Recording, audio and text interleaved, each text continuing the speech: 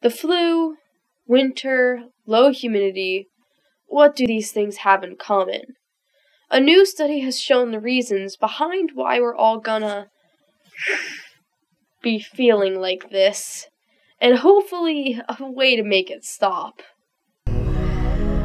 Supernova Style Science News with Julie Seven Sage. It's well known that the flu spreads quickly in the winter, where there's cold temperatures and low humidity. But why is this happening? Many doctors may tell you that in places where there are a lot of people close together, especially like a school, the flu spreads easily. But the close proximity may not be the only reason. In a recent study, a group of researchers from Yale, led by Akiko Iwasaki, the professor of immunology, found that another main reason could be the low humidity is negatively impacting our immune system. First, the low humidity prevents hair like structures in our throats to remove the virus particles. Those hair like structures are called cilia. They're also present in your nose. Now, when you clip the hairs in your nose, those are not the cilia, though those are important as well. You can't remove the cilia because they're microscopic and on your cells. But they can be destroyed by diesel fumes, cigarette smoke, and other pollutants. The way they work is the mucus first captures the virus particles, and then the cilia move the mucus to your stomach. What the low humidity does is prevent this process from happening by not only slowing down the speed of the movement, instead of the usual movement of moving back and forth every 14 to 16 times per second, but also possibly changing the direction, making the mucus go up. Second, it also reduces the ability of the cells in the airway to repair the damage done by the virus.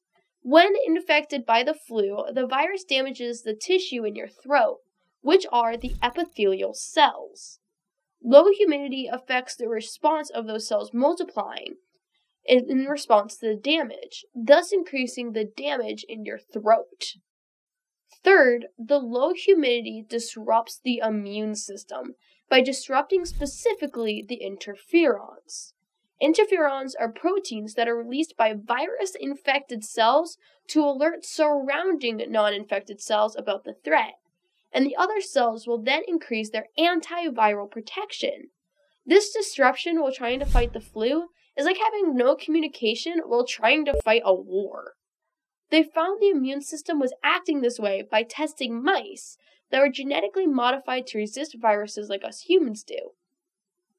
The mice were in all the same temperature, but some were in containers with high humidity and some with low humidity. Then they were exposed to the influenza A virus. The mice that did well were kept at about 50% humidity, the mice that showed all these effects in their immune system were at 10 to 20% humidity.